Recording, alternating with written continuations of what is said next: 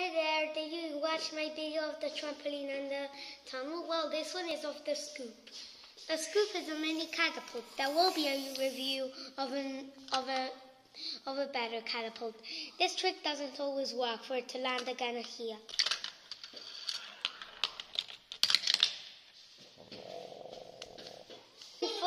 Remember, remember the loop is to give you a little boost and to give, give you to the and, and to bring you to the top of your layout. The most you can get up is four large head tiles.